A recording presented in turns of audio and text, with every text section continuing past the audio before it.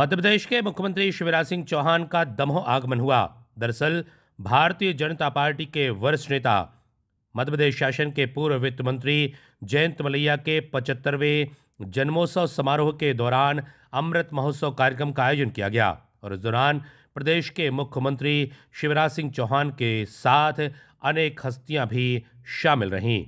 इस दौरान मुख्यमंत्री शिवराज सिंह चौहान ने कहा कि जयंत मलैया के बिना दमोह अधूरा है। इसके साथ ही उन्होंने अन्य बातें भी जयंत मलैया के लिए कही। क्या कुछ कहा? मुख्यमंत्री शिवराज सिंह चौहान ने इस दौरान आपको सुनाते हैं। Bureau report, ACN news.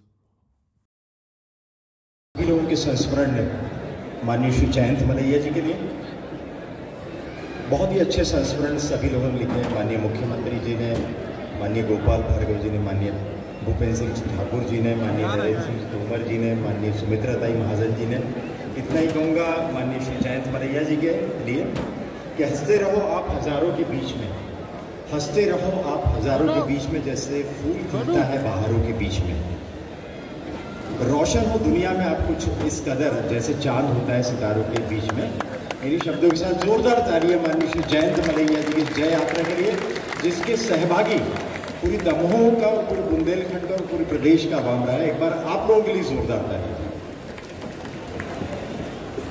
और उस भयानक माहौल में जब आतंक का राज था, उस आतंक को तोड़ने गढ़ा कोठा में घुसे थे जयंत भाई। और लोगों को आत्मविश्वास से भरने का काम जब संघर्ष की ज़रूरत पड़ी तो संघर्ष।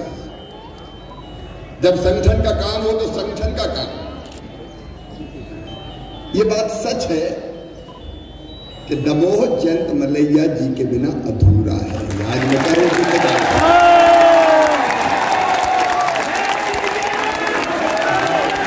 हर दिन पे,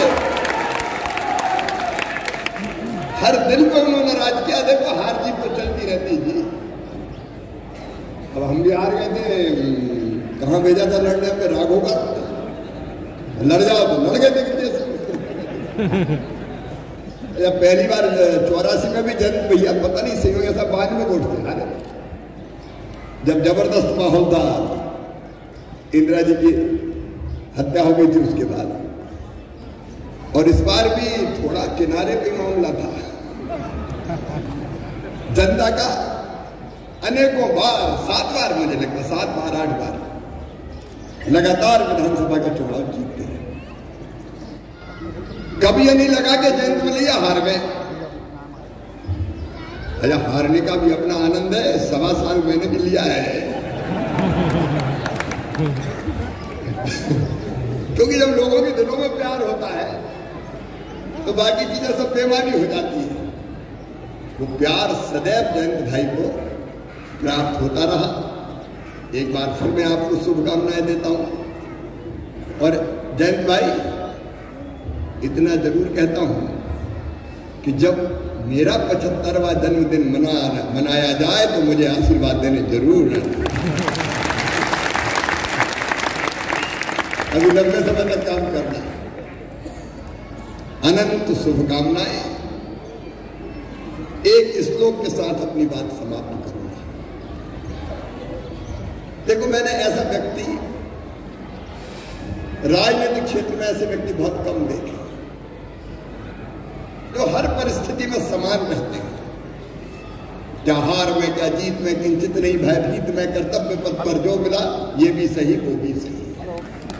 कोई फ़र्क नहीं पड़ता। और मैं जैन से नहीं जोड़ रहा, लेकिन जो दूसरे को जीते वो वीर, लेकिन जो अपने आप को जीते वो महावीर, जो महावीर वो जितेंद्रिय, जो जितेंद्रिय वो जिन, और जो जिन वही जैन। तो जैन साहब नहीं ऐसे जैन है मलैया एक बार मैं फिर बहुत बहुत शुभकामनाएँ देता हूँ। ताली बजा के भी जैन भाई का अभिनंदन करें। बहुत बहुत शुभकामनाएँ, अनंत शुभकामनाएँ।